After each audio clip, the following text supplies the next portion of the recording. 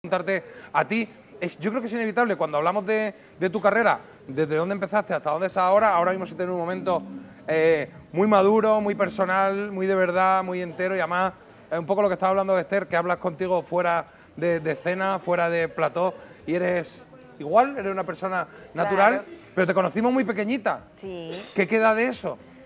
Bueno, pues yo creo que lo que quedan son las ganas, la, la energía, ¿no? Y, yo creo que es muy importante. mm, Yo empecé con 10 años y todo era una niña. Y esos años han sido súper. ha sido un pilar muy fuerte en mi vida y gracias a todo lo que yo viví en mi infancia soy hoy día la mujer que soy. Yo creo que es muy importante eh, disfrutar cada momento. Eh, a mí siempre me ha gustado mucho mi trabajo y he tenido la suerte de poder hacer eh, lo que más me gusta, que es la música, ¿no? el arte a muy temprana edad. Yo desde muy pequeña siempre tuve muy claro lo que quería hacer y tengo eso, la vitalidad, la energía. Yo siempre he sido una niña muy energética, muy alegre, muy feliz, sonreía mucho y yo sigo siendo así. Lo que pasa que, claro, eh, yo ya tengo unas tablas que en ese momento no tenía, he aprendido, porque yo creo que es importante, uno nunca deja de saber y uno tiene que ponerse las pilas, uno no se puede acomodar. Compartir cosas como, por ejemplo, la- las dos eh, eh, ha- habéis actuado. O sea, Sí. Esther ha hecho mucha, mucha tele, no sé si has hecho cine también.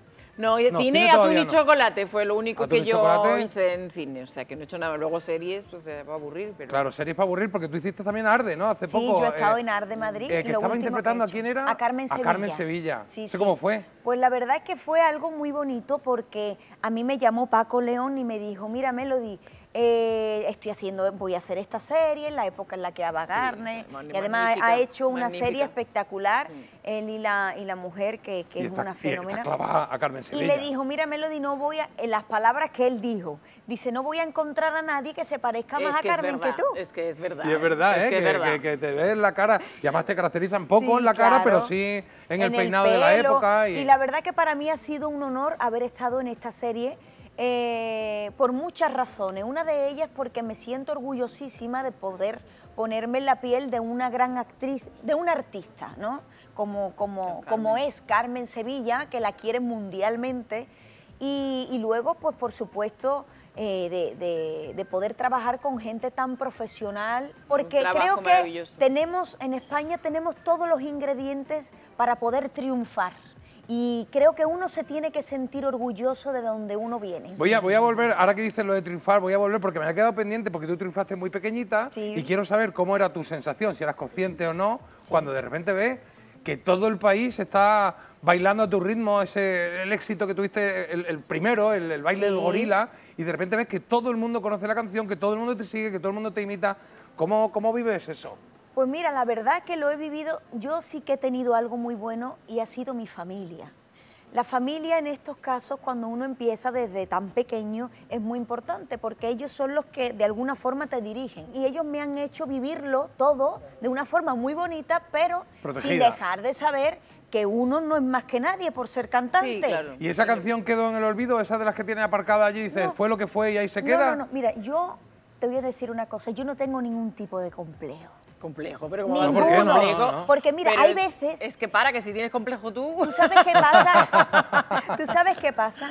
Que a veces cuando uno empieza pequeño, Sí. mm, pues no queremos cantar las canciones o te, o te molesta. Y yo creo que es un error porque la vida son dos días y venimos a disfrutarla.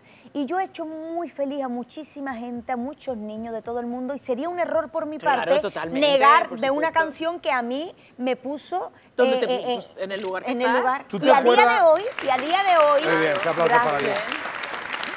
Y a día de hoy me parece muy fuerte porque en YouTube hace como cuatro años, tres años, dos años, ¿no? Dos años quitaron el vídeo porque lo estaban, lo pusieron de una forma, en- no era en el canal legal, tenía ciento y pico millones o 200 millones y Sony lo ha vuelto a poner y en dos años, yo creo que en pocos meses vamos a llegar a los 100 millones de Ostras, visualizaciones. qué maravilla. Una canción que hace 19 años.